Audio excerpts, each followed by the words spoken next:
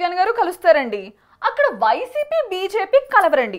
కానీ కలిసే ఉంటారండి. పైకి మాత్రం ఎవరి దారి వారిదే అన్నట్టు చెప్తారండి. వాళ్ళు వీళ్ళు కలుస్తారండి. వీళ్ళు వాళ్ళు ఏమో కలవరండి. మళ్ళీ వాళ్ళు వీళ్ళు ఒక్కరేనండి. మళ్ళీ వీళ్ళు వాళ్ళు వేరువేరుగా ఒక్కరేనండి. పేర్లే వేరండి. అందుకే ఆయన చెప్పేదే ఈయన చెప్తారు. ఈయన చెప్పేదే ఆయన చెప్తారు. వాళ్ళ గొడవ అంతే కదండి.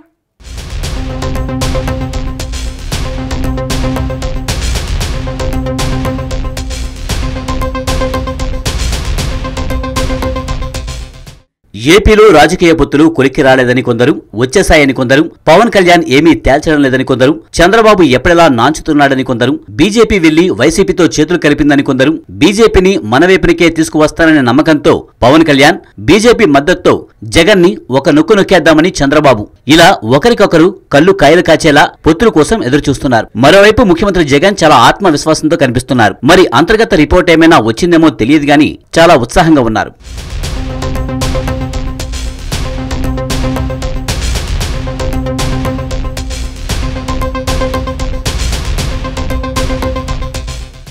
ఏపీలో పొత్తులు ఇంకా కొలిక్కి రాలేదు. చంద్రబాబు పవన్ కళ్యాణ్ రెండుసార్లు కూర్చున్నారు గాని ఫలితం కనిపించడం లేదు. వాళ్ళేం మాట్లాడుకున్నారో తెలియదు గాని బయట సోషల్ మీడియాలో మాత్రం వీళ్ళిద్దరి మధ్య సీట్ల విషయంలో సర్దుబాటు కావడం లేదని పవన్ కళ్యాణ్ నలభై నుంచి యాభై సీట్లు అడుగుతున్నాడని చంద్రబాబు ఇరవై సీట్ల వరకు ఇవ్వడానికి రెడీగా ఉన్నారని వార్తలు పొంకాను పొంకాలుగా వచ్చాయి. వీటి మధ్యలో సీఎం సీటు వ్యవహారం కూడా హాట్ హాట్గా మారిపోయింది. ఆరు లేదు సూలు లేదు కొడుకు పేరు సోమలింగం అన్నట్లు మీరు గెలిచిన తర్వాత మాట్లాడుకోవాల్సింది పోయి ఇప్పుడేంటి తగవులు అనేవాళ్ళు కూడా ఉన్నారు. మొత్తానికి అందరికీ అర్థమైంది ఏంటంటే చంద్రబాబు పవన్ కళ్యాణ్ ఈసారి ఎన్నికలకు కలిసి వెళ్తారని స్పష్టమైంది. మరోవైపు కేంద్రం నుంచి రాష్ట్ర ప్రభుత్వానికి పెండింగ్ నిధులు కూడా రావడంతో వైసీపీ సంతోషంగా ఉంది. ఇది చంద్రబాబు పవన్కి మింగుడు పడ్డం లేదు.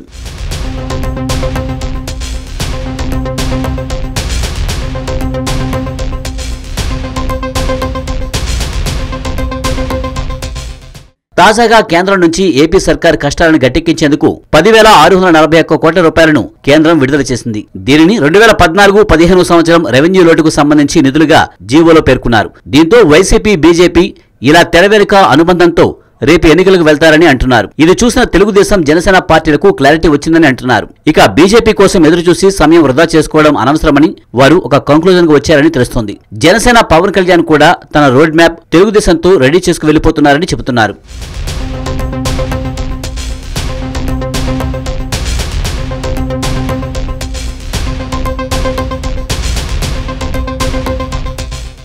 పవన్ కళ్యాణ్ మనోభావం ఏమిటంటే ఇప్పటికే రాజకీయాల్లోకి వచ్చి పదేళ్ళవుతుంది ఇప్పుడు కనీసం కొన్ని సీట్లైనా తీసుకోకపోతే వచ్చే ఎన్నికల నాటికి ఎక్కడ వేసిన గొంగలి అక్కడే అన్నట్లు ఉంటుంది కదా అని ఆలోచన చేస్తున్నారు. అందుకే కనీసం నలభై సీట్లైనా కావాలని అడుగుతున్నట్లు భావిస్తున్నారు. అందులో కనీసం ఇరవై నుంచి ఇరవై ఐదు సీట్లు గెలిచినా చెప్పుకోవడానికి ఘనంగా ఉంటుంది. అంతేకాదు అక్కడి నుంచి పికప్ చేసుకుని రెండు వేల ఇరవై తొమ్మిది ఎన్నికలకు వెళ్ళవచ్చననేది ఆయన భావనగా ఉంది. ఆయన వైపు నుంచి చూస్తే ఇది సదుద్దేశంతోనే ఉన్నా ఈ డిమాండ్తో చంద్రబాబు భయపడుతున్నారని అంటున్నారు. ఎందుకంటే రేపు తెలుగుదేశం అధికారానికి దగ్గరగా వచ్చి ఆగిపోతే అప్పుడు పవన్ కళ్యాణ్ దగ్గర ఉన్న ఇరవై సీట్లే కీలకమైతే ఆయన గొంతెమ్మ కోరికలు నెరవేర్చే పరిస్థితి ఉండకపోవచ్చునని అంటున్నారు.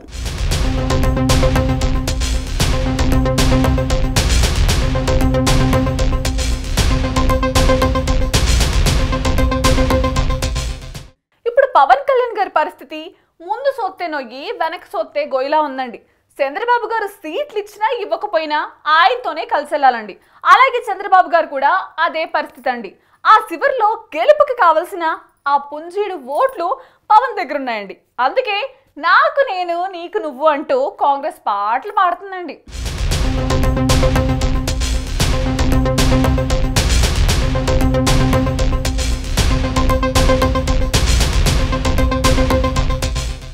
ఇప్పటికే కాపు సామాజిక వర్గం నుంచి పవన్ కళ్యాణ్ సీఎం అంటూ బలంగా వినిపిస్తుంది. ఆయన నేను సీఎం కాదని చెప్పగానే తీవ్ర వ్యతిరేకత వచ్చింది.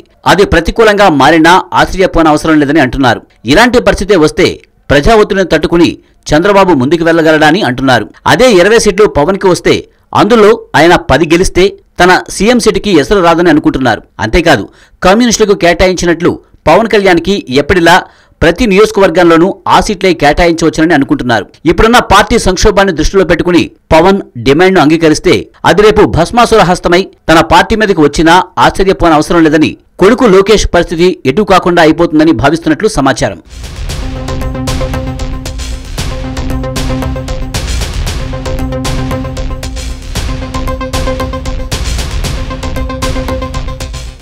కర్ణాటక ఎన్నికల్లో ఘోర పరాజయం తరువాత మిత్రపక్షాలను వదులుకోవడానికి బీజేపీ సిద్ధంగా లేదు. అందుకే వైసీపీతో మైత్రిబంధం కొనసాగించడానికి ముందడుగు వేసింది. అంతేకాదు రాజ్యసభలో కూడా వైసీపీ మద్దతు బీజేపీకి అవసరమవుతుంది. అందువల్ల సీఎం జగన్ అడగగానే నిధులు మంజూరు చేశారని అంటున్నారు. ఈ క్రమంలో బీజేపీని వదులుకోవడానికి పవన్ కళ్యాణ్ ఆయన వదులుకోవడానికి బీజేపీ మానసికంగా సిద్ధంగా ఉన్నట్లు బాధపడుతుంది. ఇప్పుడు చంద్రబాబు పవన్ కలిసి ఉమ్మడి టార్గెట్గా బీజేపీ వైసీపీని చేస్తాయని అంటున్నారు. అయితే ఇక్కడ ట్విస్ట్ ఏమిటంటే పొరపాటును కూడా బీజేపీ మీదకి వెళ్ళకూడదని భావిస్తున్నారు. వైసీపీ మీదకి వెళ్ళినా పర్వాలేదు గాని బీజేపీని టచ్ చేయకూడదు.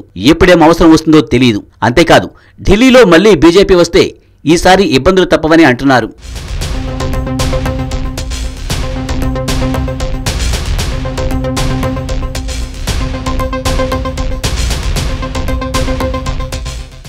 ఒక రకంగా చెప్పాలంటే బీజేపీతో కలిసి వెళ్ళకపోవడమే మంచిదని తెలుగుదేశం జనసేన భావిస్తున్నాయని అంటున్నారు. ఎందుకంటే బీజేపీతో డైరెక్ట్గా కలిస్తే విశాఖ స్టీల్ ప్లాంట్ ఎఫెక్ట్ ఉత్తరాంధ్రలో గట్టిగా ఉంటుందని అంటున్నారు. అలాగే రైల్వే జోన్ ప్రతిపాదన అలానే ఉంది. కాలయాపన తప్ప మరొకటి లేదు. ప్రత్యేక ప్రతిపత్తికి సంబంధించి రూపాయి విదిలించలేదు. ప్రజల్లో కూడా కొంత వ్యతిరేకత ఉందని భావిస్తున్నారు. అవన్నీ తెలుగుదేశం జనసేన పైకి వెళ్ళకుండా బాగానే బయటపడ్డారని చెబుతున్నారు. ఇప్పుడు ఈ ఎఫెక్ట్ వైసీపీకి ఉంటుందని అంటున్నారు. కాకపోతే వీళ్ళ మైత్రి అంత గాఢంగా లేదు కాబట్టి అంత ఎఫెక్ట్ ఉండకపోవచ్చునని కూడా చెబుతున్నారు. మరి తెలుగుదేశం జనసేన ఎందుకు బీజేపీ కోసం అంత అరుడు చాచాయంటే అధికారంలో ఉన్న ముఖ్యమంత్రి జగన్మోహన్ రెడ్డికి చెక్ పెట్టెదిగానని అంటున్నారు. మొత్తానికి ఏం జరిగినా వచ్చే ఎన్నికలు మాత్రం మంచి రసవత్తరంగా నడుస్తాయనడంలో సందేహం లేదు.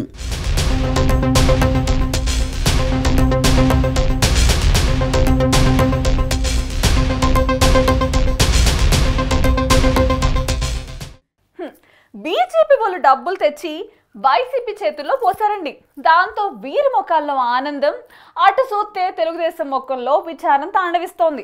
ఒక కంట కన్నీరు ఒక కంట పన్నీర్లో ఉందండి పరిస్థితి. పవన్ కళ్యాణ్ గారు కలిశారని ఆనందించాలో బీజేపీ జారిపోయిందని విచారించాలో వారికే తెలియదండి ఇవన్నీ చూస్తుంటే బీజేపీ వాళ్ళు చంద్రబాబుని ఇక నమ్మరని అర్థమైపోయినదండి.